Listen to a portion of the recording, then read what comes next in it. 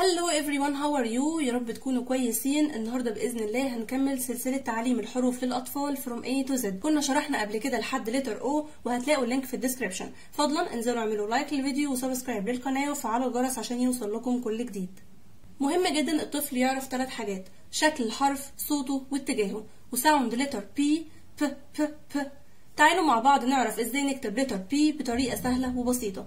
عندنا P capital P small هنقول للطفل إزاي يكتب letter P capital هنحط نقطة البداية هنا. وهنقول للطفل down.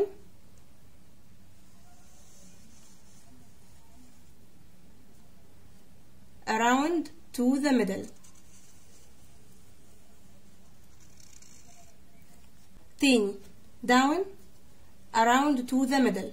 وعايزين نعرف إيه الفرق بين letter P capital و P small. ال P capital بتكون من فوق لكن ال P small بنبدأ من هنا. وهنقول للطفل down and curve. تاني تعالوا نكتب مع بعض ال P capital. هنحط نقطة البداية هنا ونقول للطفل down